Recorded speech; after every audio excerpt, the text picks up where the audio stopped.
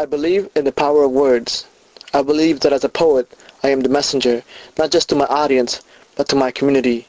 I feel indebted to the ones who paved the way for me, from the deaths in 1821 for the independence of Peru and El Salvador, the Alamo in 1836, the Treaty of Guadalupe Hidalgo in 1848, the Spanish-American War in 1898, the Mexican Revolution of 1910, and the of violence of 1943, to the essence of my indigenous spirit who lets me be. La hacienda, donde venden alambre. Alambres, tacos, tortas. Uh, one, of, one, of, one of my favorite spots here. Okay, and this is Rodrigo Sanchez Chavarria. Did I say that right? Yep. Okay, and this is uh, his beautiful wife. What's your name? Nubia Esparza. Nubia. Nubia Esparza. Okay, and we met online initially, and I got to know your work. You you do poetry. Tell me about your work, Rodrigo. Uh, well, I started writing. Well, I guess I started writing in '88 when I first came from Peru, uh, and I didn't know the language, and I didn't have an outlet to be able to talk. My parents wouldn't really talk to me or connect with me because they were both students at the university. So I pretty much just started writing diary entries. Y ahí empezó a crecer la poesía, and I've always written, but I didn't get involved with the aspect of spoken word until 2004, when um, uh, a collective, a friend of mine, Emmanuel Ortiz and Dessa Darling from Doomtree, uh, got together, other other poetas Latinos in the Chicago, Minnesota, and the Twin Cities, and decided to talk about what we wanted. Uh, first as, a, as an exchange, but eventually became as a formation of a collective that we know called palabristas, which means word slingers. Ever since 2004, I've been performing uh, spoken word with palabristas. Was a member of palabristas and on my own. Um, 2006, I put out a spoken word CD called Desconocidos. Uh, last summer, with the help of the beautiful white Nubia, we put together a chapbook called uh, Writing Life. The chapbook is a collection of poems, uh, self-published. I have a good friend of mine, Andrew McDonald, who's a photographer, who now lives in Mexico. Uh, he would send me pictures and I would write to them. And uh, did that last um, last last So summer. you do poetry as well, I do Not, but how come you got involved with his work? I'm his support, and I'm his biggest critic. Nice, and that's how we guys met. We actually met as students at the university. Very We were involved activists. Okay, so it's a family that started with activism, and then you're raising uh, three activists, Yeah. yeah. Two Yeah. girls and one coming Yeah. on the way. Oh, Lisa and Giselle were at the march A couple years a ago. couple years ago and they understand that there's a difference. Okay, and now you are you are half Peruvian, half Bolivian, Yes. and now you're American. And what about you? I am Mexican and American. Okay, and now, what is it that uh, got you to get into activism? I mean, is it your personal life experiences, or is something that you learn in your family? Let's just start by you. Um, I actually, we, I come, my family's working class, so most of the time we really didn't see any activism on their behalf because all they did was work. But when I came to school, um, a lot of the inequalities that I saw as a child kind of came and slapped me in the face. So um, it kind of made me want to make change. Um, I knew that I wanted to get married and have a family, and I didn't want my children to go through the kinds of struggles that I went through, that my family went through. in Chicago, Um, right? In Chicago, yes. So you are Mexicana de Chicago, yes. o, o chi, chico, chico again. ¿Cómo se dice? Chicagoeño. Chicagoeño, yeah. Chico, chicagoeño. So, yeah. But So what kind of difficulties you went through specifically? Um, when I was a, a child, I actually um, went to one of the very few bilingual schools. Um, they're very few and far between now um, in the Chicago area. Um, and then for because of how strict the guidelines were for school districts in Chicago. Um, it's kind of one of those things you cross the street, you're in a different school district, um, and that's kind of what happened with me. Uh, the school district I was supposed to go to was not very good. Um, it was a very large school district, really bad reputation, bad in regards to education. My parents weren't having it. So they actually enrolled me in a Catholic school. Um, and I went through Catholic school from third to eighth grade. Um, and there came a time, probably somewhere in sixth or seventh grade, when I was speaking Spanish to one of my other classmates. We were just talking amongst each other, not to anyone else. And uh, my teacher later on pulled me aside and said, um, you're not allowed to speak Spanish here. Really? Even this day? Wow.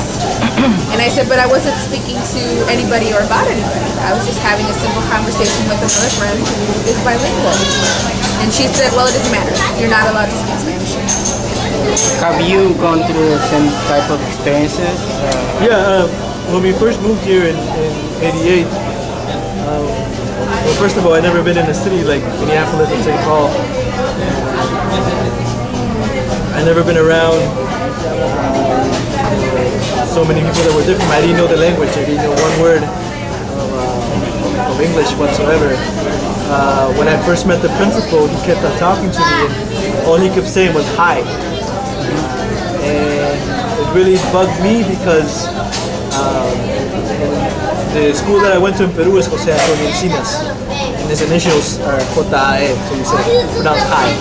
So I I was really confused with it. He knew what school I was from, what he was trying to, so it was just, so I eventually I said hi back to him, and I was thrown into fifth grade, and people would talk to me, and people I would not understand. I was I was taken from class to go to ESL, and uh, I was fortunate to uh, have an ESL teacher who who uh, was Port- who was a Brazilian, spoke Portuguese, so we could understand each other in some sort of sense. in some way, yeah. Uh, but I, you know, because I couldn't speak the language and because I was different and I wasn't dressing like other people were dressing, I got picked on a lot when I was a little kid. And, uh, I, and through ESL, I didn't excel or finish the ESL program until eighth grade. And by then, the effects of me being out of classrooms and not being in the um, in, in the classroom enough to understand certain subjects, uh, you know, really hindered my education. And so by the time I graduated high school, I, you know, I,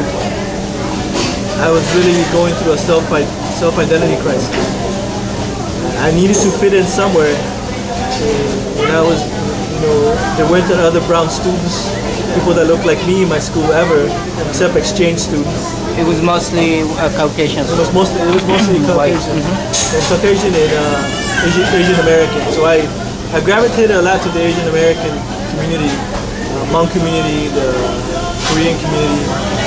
I had friends uh, through high school that that did that, but it wasn't until my mother took us back to Peru in '94 that I kind of began, began to understand not only where I came from and what I was about, but more of the history of who I was. And my, my parents were always activists. They would take us to peñas. They had friends who were writers, poets. Art was always part of our family. I was always involved, you know, street theater. We go through all these different things, you know, and um, you know, I have family members that I consider family. We consider family in our, our that are actually well-known poets like you know, Marco Martos. Uh, I remember always going to his house and just playing with his kids and being around and everything. And so, um, you know, people like that. And so eventually I started, my, my, my father was is a big literature person. Um, we lived in my, my grandfather's house. He had an old refrigerator, big old refrigerator on the second floor. And every time my friends would come over, they'd be like, oh, hay un refrigerador, vamos a abrir a, a ver si algo de tomar. And they would open it, and it was filled with books. Can you imagine a refrigerator filled with books, and that's how my dad would keep his books together. So when I was when I was little, you know, I'd, I'd be reading Kafka and I'd be reading different types of books. Awesome. So you saying that the identity crisis you went through was some a way dissipated by you reading a lot, or it was a, it was a way for you to find something, some refuge. How did you get over that? Uh, Well, identity what, what happened was, is I, when we were in Peru, I, I, I, I- I became in touch not only with my with, with my with family members, but my own history. I had a history teacher who really really talked about the indigenous um, history, but also the beauty of it. And in Peru, the, the especially in tourism, there's this little there's, there's. Um, they, they, they embrace the, the native people when it comes to tourism, but when it comes to local life, it's not really embraced or looked upon as, as something to be proud of. And, um, and I am I am proud of my indigenous roots from my father and from my mother. Uh, and uh, from very little, I was always my dad used to work for a, nonprofit to create videos documenting agriculture in the in the uh, in, in the indigenous communities of like Cusco and Puno and so he would take me with me. So it's always always been something part of my life. And so once I understood where I came from, and I understood that my, you know, my, one of my grandfathers was a, was an organizer for the miners in, in, Sucre, it, it kind of really became. I had a much uh, firm understanding of, of where I could stand and where I was supposed to be going to. So when I came back, I, I, I was a totally different person. I knew who I was, and I, and I know what I did not want to become. And so I, I applied myself to, Why you didn't want to become it? well, I just didn't want to become um, assimilated. Uh, because assimilation means you have to give something up. And In order to fit in. what's that? In order to fit in. Yeah, yeah, and I, and I wanted to. It's what the, what the uh, people here talk about the melting pot. Uh, Yeah. They talk about it like it's something good, but we have to think about who created that model of melting pot, right? Yeah, the, the melting pot is not really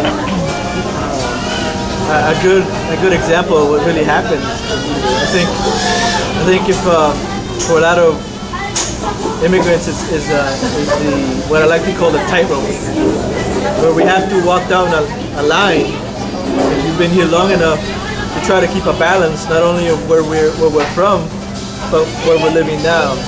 And keeping that balance is an everyday battle.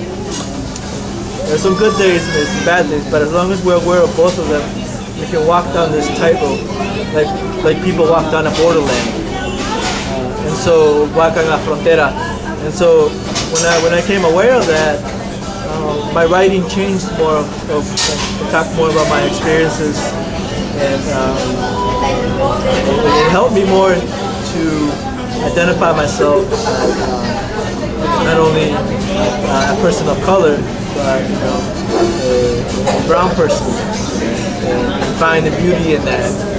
And so um, when it came to college, I ended up enrolling at uh, Metro um, Minneapolis Technical College, MCTC, and I was I was fortunate to be surrounded by, by like-minded individuals like myself.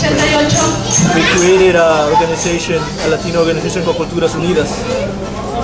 I got involved with journalism at that point because I always liked writing. Uh, I wrote for the newspaper for a couple of years, and then I transferred to the University of Minnesota, and uh, I got involved with an organization called La Raza Student Cultural Center, and that's where I met Nubia. Um, it was a, a a place where it felt like home. You know, there's other brown people like me who uh, like to have a good time, but also like to talk about politics and be active. So we created a core of activism on campus that wasn't seen before, uh, prior to, you know, probably since the late 80s. And, um, and I decided to take journalism as part of what I wanted to focus on. I wanted to keep on writing, but I also uh, dipped into the history of Chicano studies, the history of the uh, civil rights movements. I kind of I kind of embraced that idea and used the examples that happened in the 60s uh, and knew that those were tools that eventually could be used to whatever was gonna was gonna come my way at one point. Because everything I believe everything is cyclical. You know, everything comes in cycles. Just like indigenous believe everything's cyclical. And uh, you know, whatever we learn from yesterday we might have to apply it later down the road, and it's gonna come up, and it's and it's, it's happening. Yes, you're so right. You're so right. And let me ask you something. I, I, I heard that your stories are based on your family experiences.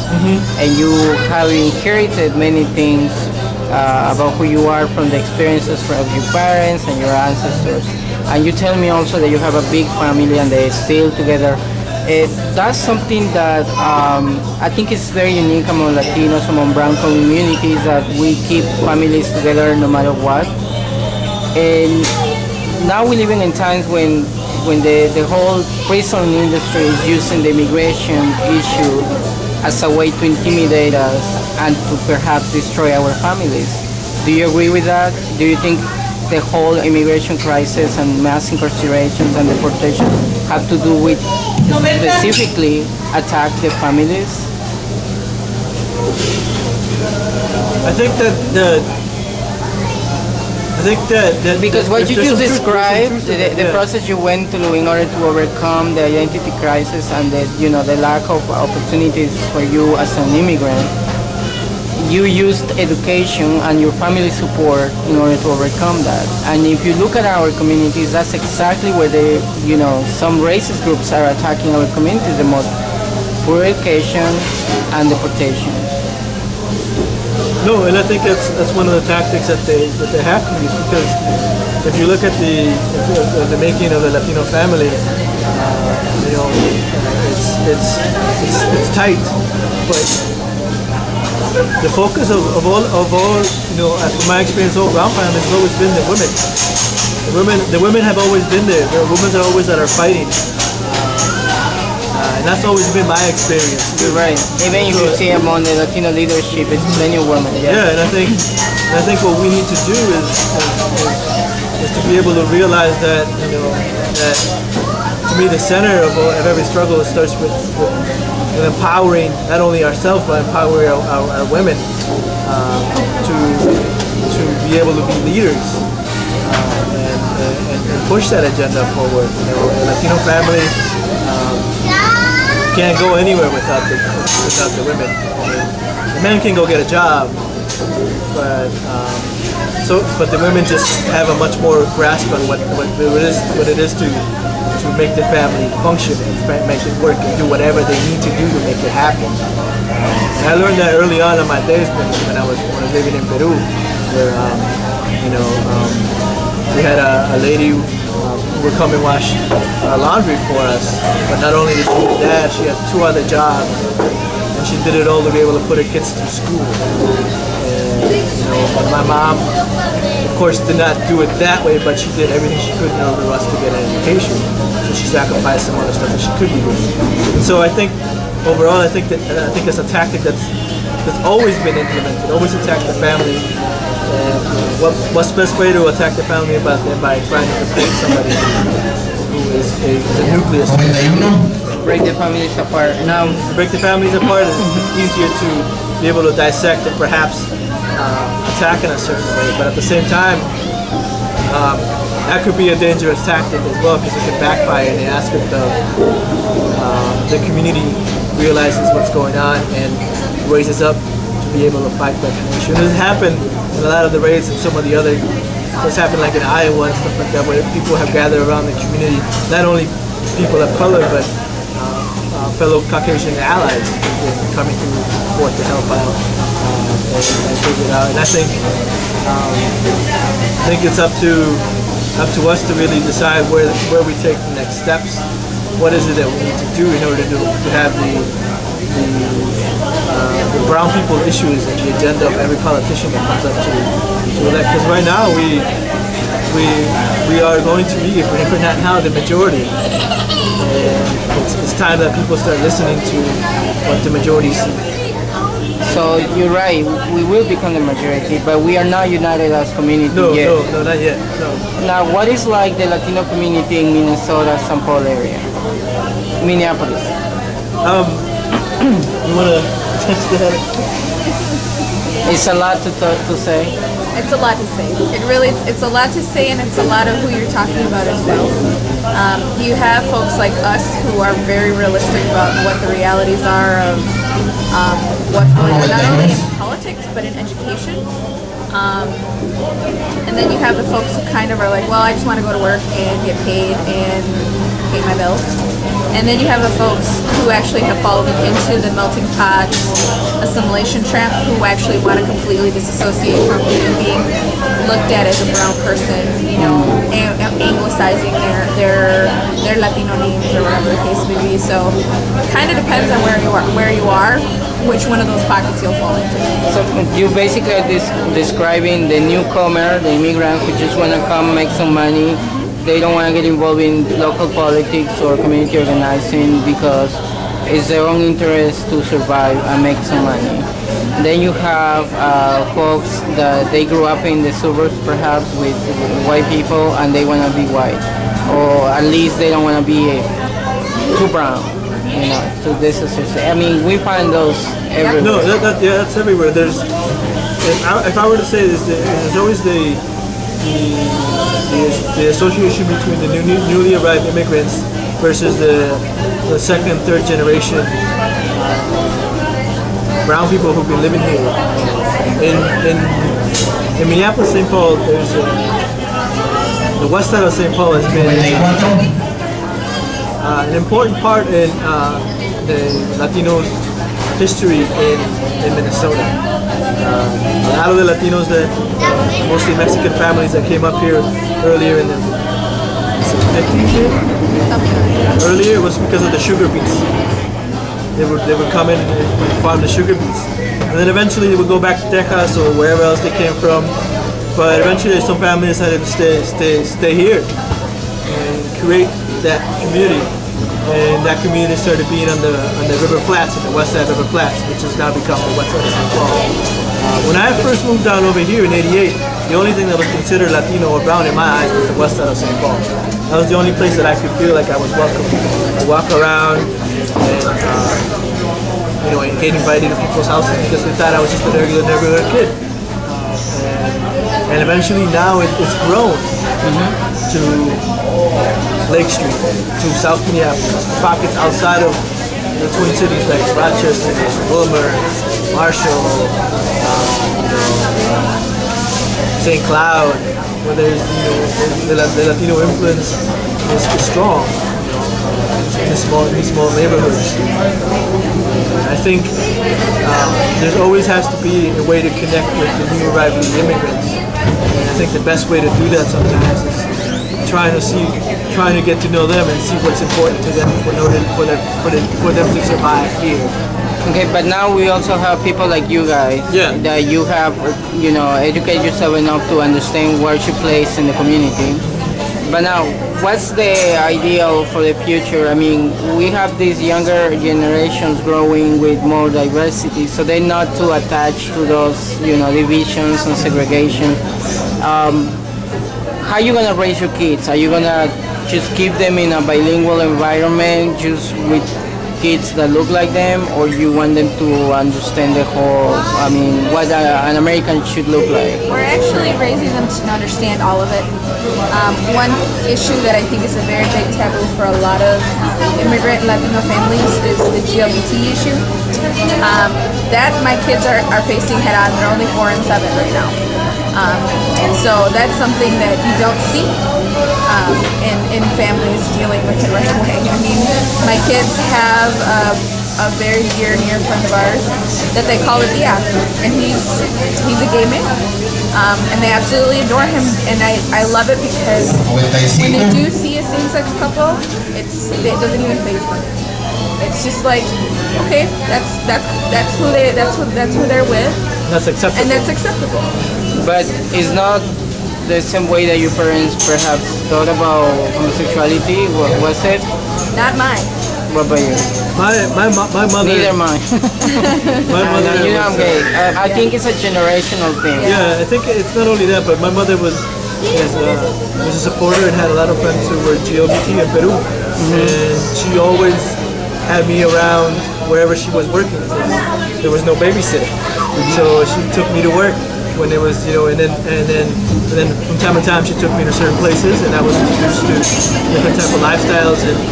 um, I was introduced to them and I thought nothing of it. I thought it was just normal and accepted. And so I, I, I grew up with an open mind uh, on the issue of sexuality. And I, I've embraced that and I and I and I pass that on to my kids. I don't. I, we, tell them that there's no there's no real difference, and uh, that we need to be able to not only show each other support, but to um, realize when there's something wrong, something doing something wrong, and to, to speak out on it. And I think uh, one of the things that we've always done is, for me, as, as an aspect of it, as a, as a poet and as a writer, whenever there's there's a poetry event that I can take them to, so uh, we do.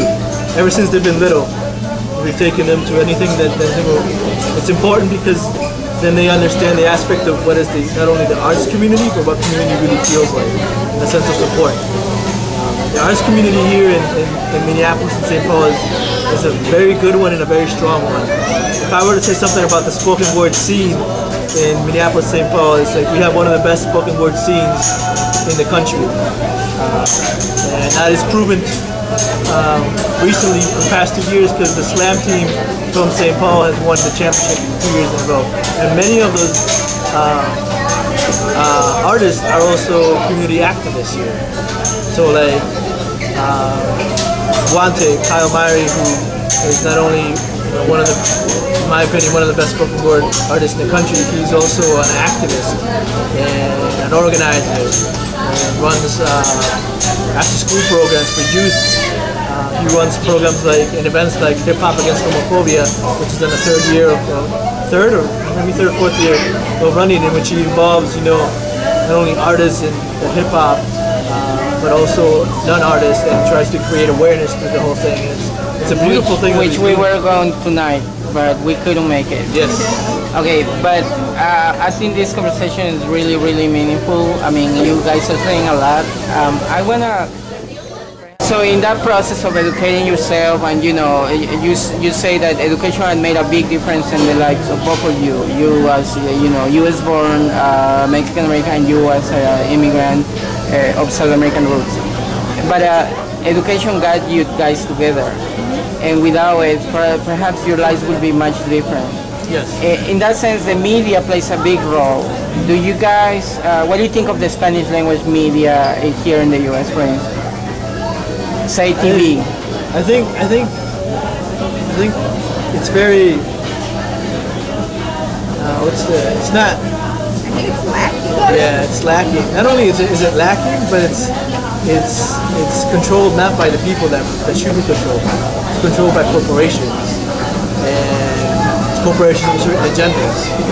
Majority people who don't really understand where we're Yeah, coming from. yeah. I mean, Or maybe they do, but they don't want to acknowledge. I don't think they want to present it because Do then you- it'll just be it'll be visible. It'll actually be something that they'll have to pay attention. Do you let your children watch uh, Spanish language television? Not on not on Univision. Not on Univision. no. And if they do watch it, it's just probably because their grandmother's watching a telenovela on there. Other than that, no. Well, besides watch. besides besides football, but you know, because we but besides that, you know, Football, and soccer. yeah. Yeah. But besides that, no. I mean, we, we like to teach. We let our kids embrace things like you know, programming that's educational in a sense, like you know, but which in which they can see themselves in. which unfortunately is very few and far between. Yeah, and so like our, our pickings are not very, and sometimes they're not the greatest. You know, there's um, Dora the Dora the Explorer has its, its, its pros and it has its cons, and so does you know anything like like Diego and all the other stuff. But you know, shows like Maya and Miguel that used to be on PBS that, that, that show a different a different side of certain things. We, we want we expose them to all types of different types of cultures. You know, like, one of one of their favorite things that they like to do is watch. Uh, what's that show on HBO? I Spy. No, the one about Oh, the happily ever after. Happily Ever After, which is an HBO program in which uh, they do storytelling, but from a person of color perspective. They redo fairy tales yes. and they redo them, including making them the, the, the ma- primary characters people of color. Um, which is- Interesting. yeah, which And they, is and, and they have and, and absolutely- they and, and the voices are are actually are people actually of people color. of Okay, you can tell. So yeah, I mean, like you know, we watch Cinderella, and it has a little bit of a of a brown twist. So you hear, you know, brown actors like you know um, Very nice. Constance Marie, or maybe not George Lopez, but um, you know, sometimes like Edward James Olmos or or um, Héctor Elizondo. eh? Hector Elizondo. You know, people that they can re- they, they can hear, and you can hear, you know, and we try to teach them. Not only that, but also you know, um, we. You know, Isa is enrolled in, in a bilingual program in school. Spanish the immersion. Spanish immersion school, and we find that very important to do so. Do you, you don't like telenovelas, or do you? I used to. Who? telenovelas. I used to, um, and I, I opt not to watch them anymore because um, it's just the same storyline with different actors, and you know, telenovelas used to actually to be about something completely different, stuff that you you, you used to be able to lose yourself in, and they're not. Um, I find them to be very racist and, and Yes. also very uh, machismo, Yes. uh, you know. Very and, much so. And, and I don't think that's good for, for our community. and I don't think they're and it's, it's not they're not realistic. I mean, you don't always you're not always going to have the poor girl who's going to fall in love with the rich ranch owner who is going to go through all these struggles and then at the end get her happy ending. I mean, that's just not reality at all whatsoever. You know, and it's just I don't know. I, I think they've become boring and stupid. Being Or, or blunt and like, honest. you know, it's, it's either that or the, um, um, what is it, the ugly duckling story where you have a, a tomboy uh, looking female. Like Ugly Betty? Yeah, and then And- eventually it blossoms into something beautiful and now you pay attention to it. Yeah, and, but in order to become beautiful, she has to Remake become herself. remake into getting more Anglo, more you know, Yeah. and, and the serious sense in in, in, There's in London, it. The, the identity issue that comes Yeah. into that. It's, Yeah. it's and, deep. Yeah. and that shouldn't be the case. Yeah. I mean, we don't have to pre- pretend to be somebody or, or to change who we are. Right. We, we, we, we, people always change, but it has to be a, a, a process, not just because the media says so, right? Right. I think I think that's something that we, we're, we're just going to have to continue to struggle with because, um, especially having two daughters, they're going to struggle with what a perfect little girl is supposed to look like, and they are not. They are not what you see on TV Or, um, or what beauty is or what beauty actually is. Absolutely not. No. And it's something that we've had to instill very young that they look nothing like what little blonde-haired blue-eyed girl looks like on TV. Like nuestra belleza latina. Yeah, like Miss Universe. Hmm They're, they're not like that whatsoever. But they are beautiful. They are gorgeous children, absolutely. And, and that's what we need of sometimes to remind our own people, you know. Yeah. We, we don't need to look like others, we just need to look the way we are. Exactly. And be and be appreciative of the blessing of being here and honor our Yeah. ancestors, you know. Yep. Yep, and, and we tell them, and, and one of the things that I always try to um, talk about, or I tell them, is you know, we tell them that you know they, they're, they're, they're part Mexican and they're also part Peruvian, and there's beauty and all that sort of things. You know, I've I've coined the term. Um, you know, I, I wanted to be able to say, well, what. What, what, what kind of sense can I mix those two words together that create something, a new mixture? Uh, and I came up with the word Incatec you know, part Inca, part Aztec. And so uh, that's something that you know I want to to, to associate that with them, and I, I'm blessed to be able to be surrounded by not only community members and artists who embrace my, my children and embrace the action that you know family is an important part of my work that I do, and I always carry them with me. So I think it's it's, beautiful that it's here, uh, not only in Minnesota but in other, in other parts of the United States. But I think what I like to see more of is a connection between my homeland and the work that I do here, uh, and how there might be a connection in that sense, so we can help each other out and work together to break some of the barriers that are going down there. Like you said, the Latino population is growing. Um, by your own experience, I think many uh, non-Latinos should understand that maybe that's the future of this country. Maybe we need to open our minds the same way we, you know, that you don't think like your parents. Maybe they need to change, you know, the way of thinking about other peoples who are different in any way. What do you think is, is going to be the future of you guys living in, in, in Minneapolis and the Latino community is going to be like? I think we have, at at least I always been very hopeful because I've seen the change since I moved here. Like when we first moved here, there wasn't a Lake Street. I couldn't walk to a taco shop. I couldn't go into like a subway and order food in Spanish, or for the matter of fact, go to a drive-through and be able to get, you know, a side of jalapenos or something like that. They don't, they don't do that at a Burger King uh, around here. They, they, they do now in some places, and I and I've seen the growth. And I feel that my investment in, in being part of this community, being active, and being an artist, uh, uh, I want to see where it will lead, and I'm hoping it will lead to more awareness and more involvement into uh, the issues of the Latino community here in Minneapolis and in St. Paul and overall Minnesota. Uh, you know, education is a big one with the Dreamers. Uh, that's something that we both support loud and clear. My involvement uh, with education. You know, I've been supportive of the Dreamers ever since it started.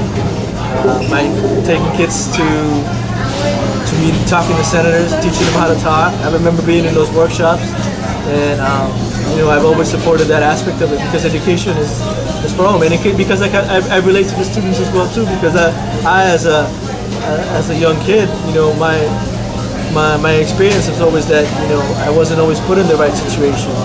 There was no one over ever to help me because my uh, immigration status wasn't the, wasn't the correct one. I didn't have certain access to certain things, and it wasn't my fault that I was brought here. You know, um, my parents came here uh, to get an education themselves, so I came as you know as, as, a, as a person, as a student. So there's there were certain issues when I was going to college of how much tuition I had to pay. So I know how it is to be able to count your pennies and count your dollars and work all summer to be able to just pay maybe one class or two classes to be able to get it. But I know how important it is to get an education at the same time. Uh, and, and how like the resources open up with your experiences as you grow. So I think know, I I think that's one thing that new immigrants and uh, established Latino community members here both agree on is the importance of education. And I think that's one of the things that I hopefully, even though we keep on presenting the DREAM Act to, to lobbyists and stuff like that, uh, you know, we will always keep that fight because we have to keep that fight. Because without, without hope, there is no struggle. And that's what we want all of us to always be, is create a, a hopeful future for our community. And also, not only for our community, but for our families and for our kids. And that's, you know, that's just the reality of it. Everybody wants to do better for their families and for their kids. And we, we feel that, you know, we started a, we started a fight here. And we want to be able to see it through. Okay, but now when you when you when you talk about you know now you being able to come to this place where you find this uh, specific type of food and this uh, you know people who kind of look like you and you feel more comfortable. Uh, but do you guys think that you for instance you have mexican roots and you have peruvian bolivian roots but are you the same people that you will be if you had stayed or your parents had stayed in latin america or you also have assimilated some way the american culture I definitely would not have been the same. My family immigrated because they were poor farmers, and there was no, I mean, the farming business where they were was terrible. Um, had they stayed in Latin America, I probably would have gotten um, pregnant and married by the time I was 16, because that's just the culture back then. Um, that still is actually now. But my, by my parents immigrating here, my entire life is completely different. Um, it's even different than some of the cousins I grew up with. They fell into that trap even being in the United States because I don't think that their parents, even though they are relatives, you know, my mom's sisters, placed as much emphasis on education as mine did. Um, but even then, I think that they tried quite hard to push me to assimilate. And I did actually for a little bit. I kind of went through a pretty similar identity struggle earlier with it. Um, definitely not to the extent that he did, um, but yeah, I definitely would not have been the same person at all whatsoever if I would have stayed, or if my family would have stayed whatsoever. So, is there a piece of me probably is that assimilated? Probably in regards to education, absolutely, um, because my parents saw the value in it and the fact that right now they are ecstatic that I go to an office and sit and work at a computer all day, and I don't have I don't come home with calluses on my hands. So, you know, I think that there is a little piece of it, but I think that it's also um, that I also was able to hold on to um, where my family's from and make that a priority to teach my kids. Um, and they still learn every day, all the time. So, And just to finish this conversation, tell me what poetry means to you and the spoken word, and how do you get involved into it? Um, well, poetry and spoken word, I feel that it's a tool of liberation. It's um, for three, five minutes, people get to listen to you, and they have to listen. And I think that's where the outlet of power comes from. You can, you can be whatever you want to be. You can say whatever you want to say, whatever is important to you, and the people that are there have to listen to you. And I think poetry and spoken word have the power to be able to create change in the aspect of social change by creating a certain message. And I think it's, it's always been very important. And to me, poetry to me is, is, is really life. I think by writing about my life experiences and sharing with other people, not only do do I um, you know, validate what I do, but it lets other people know that they're not alone. Because I'm not the only one that's gone through the same, same things. There's other people out there too. And if I can speak it for them, and so they can hear it at one point in their life and realize, yes, that's where I live, it's, it's, it's wonderful. I love going to places I've never been before and um, performing at places and, and I have people come up to me who of course I've never met mostly brown people and say, you know, that's exactly what I wanted to hear. I have been trying to say. Or like one time I had the cocineros come from the back of a restaurant and they were, um, uh, you know, asking me how beautiful that poem was and what I can, you know, how they can, how I can help them write. And you know, and one of the things that I eventually want to do is, is, is, do that. You know, have a, a writing circle, have enough funding to create an arts organization to tailor to. Uh, know, arts and aspect of writing.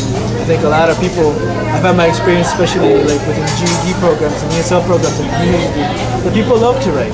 Not only would it be in English, but also in their own native language. And, um, and that's something that needs, there's a need for it. There isn't really a, uh, an outlet for it, at least here in Minnesota yet.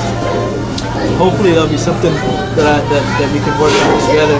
Who got you into it, or how did you find out about it? About poetry Yeah, and then the spoken word. in Minnesota? In general, in your life. Gen- my, my parents. Now, My parents were always involved with the I hear, I hear you you work, and it has a lot of hip hop on it, a lot of hip hop culture. Yes, Did you learn that in Peru or here? I started to learn it in Peru. Um, in the early, early, early 80s, I was I was introduced to the idea of not only breakdancing, but the aspect of uh, hip hop, the culture of hip hop. When I moved over here, um, I embraced it even more. Uh, I like I felt I felt I, felt this one of the things that that I could relate to, where I could be whatever I wanted to be. that's the that's the to me that's the beauty of, of hip hop, is you can you can create it and, and give it a new meaning and, and do it that way. Are you writing lately? I'm always writing. Uh, what kind of stuff? Um, lately, I've been writing mostly about my family experience, uh, mostly about fatherhood because I don't. There isn't. I, I feel there's a lack of connection between uh, Latino Latino fathers and not only their children but mostly their their daughters. It's the macho figure, right? The parents, the fathers are supposed to just go to work and bring the money. Yeah, and I, and I, and, and I and I want to be able to break that that that notion that you know that's what a father is supposed to do. No, um, I'm I'm a very involved father in my kid's life, and I, and I want to be able to share that with other people because I know I'm not the only one who feels the same way. To be able to break that mold or that stereotype that the Latino male is only good for labor and not. Uh, Or is uh, uh, or being a good father can be seen as a weakness sometimes yes, it is not a weakness. In the macho culture. that, that, is, that is vital and needs to happen more often than anything. Can you share something that you wrote about that specific issue, Um, if Yeah. you may, if it's not too much for us? no, sure. Um, let me just find it here. Well, you find it. Um, do you, do you- when you guys met, did you, did you ever thought about working together in some specific project so that the, the things that you, that you guys are, you know, talking about right now can be spread into the community? Actually, um, whenever he applies for grants, I'm his grant writer. So we actually, you know, he's we kind of function in the fact that he's the artist and I'm his behind the scenes person making everything work. The manager. Yeah. Yeah. Um, pretty much. And, and in, the, in the chapbook aspect, she put it together. I, I pretty much just gave her the information, gave her the poems and the pictures, and she put it together. And she did a wonderful job. And so now that we have that system down, we can make that on our own and not have to really provide funding as long as you know we have the inspiration and the work to do it. So, um, and not only that, but she. Uh, she's my biggest critic and I always run things through her to see what she thinks of it. So my artwork is really family based in aspect of it. You know, it's always been family based. I write about my kids, I write about my experience, but everything that happens is because we as a we as a we as a family unit have done so. So I always do that. So um, let's see. I wrote this poem what a year ago It's about my um, my youngest one. Her name is Giselle, and she is three. No, she's four now. She was three when I wrote this, and she um, has an infatuation with ladybugs. So I, the poem is really about innocence, about her innocence, and it's called Ladybug. So. For Halloween, I was a teenage ninja turtle. Michelangelo to be exact. The year before that, I wanted to be Bruce Wayne. And let's say I might have enjoyed that a little bit too much. In her case, her infatuation for the past two years, two thirds of her life have been ladybugs. I ask her, why ladybugs? And she says, because they are small and cute, just like me. And who can argue with that? I know I can. So I tell her, you are right. And you will always be right. You see, she is three feet tall, and her adventures include climbing Mount Everest all the way up her bunk bed. We make train sets be our mode of transportation into her make-believe world. Make couch cushions and blankets be our fortress. We make up words like Achabatuba. Except she can't say tuba just yet, so she replaces it with tuga, which brings a smile on my face knowing that she acknowledges the duality of her flint tongue. We practice rolling our R's, our colors in Espanol because language is culture. We tickle her sister because it's a fun thing to do. We hide and seek for new adventures and look for each other when life gets hard. I never thought I would have three of my best friends living under my roof. I never thought I'd be so happy with less, but she is my living proof. So we construct Lego inequities that only make sense to her. We stack dominoes into mansions like quadratic equations. We call her circles, squares, triangles, and we call it family. We dance to the beat of our heartbeats to the rhythm of a snare drum. We recite lyrics and make her magic wand be the microphone. She says she is a waterbender and I, her last airbender. We Hadouken our way through the strife and embrace each other so we can taste life. I tell her I love her, and that I miss her. Even though she hasn't left my side, she tells me, I know. And that's when I bow to her innocence. Make a promise to protect by any means necessary. With my pen and my machete of a tongue, will make the massacres at the hand of the conquistadores look like soap bubbles. I will fight for her until she tells me she's a big girl. Then I will let go and try to find where I hide my innocence. Hoping and waiting that she still wants to be a ladybug. Very, very nice. I am uh, so glad, Rodrigo, that you called me, that you contact me. um, I'm so glad that we met online and now in person. Um, you guys are amazing. And I really hope that the work that you guys do get spread around the community and other people take the post also. You are now teaching, uh, or you're working in a college. I, I work at the Department of American Indian Studies and Chicano Studies at the University of Minnesota. I am a um, I am the front desk person. So Okay, well, one I'm day you're gonna be the contact. teacher. Oh, um, that's what I'm trying to do. I'm Next gonna time I come back, you're gonna be teaching. what do you do these days? I also work at the university. I work as an academic advisor for um, the predominantly uh, predominantly students of color um, in the College of Liberal Arts. Yeah. Awesome. Um, well, thank you so much for your time and for bringing me to this um, Mexican restaurant. I enjoyed the time with you, and I hope uh, we get to see each other next time. Uh, I don't know, maybe in DC, maybe Yeah, maybe. somewhere else, maybe Yeah. Peru and Mexico. Who knows? but uh, thanks again. And if people want to find your work online, where can they find you? Um, I have a blog.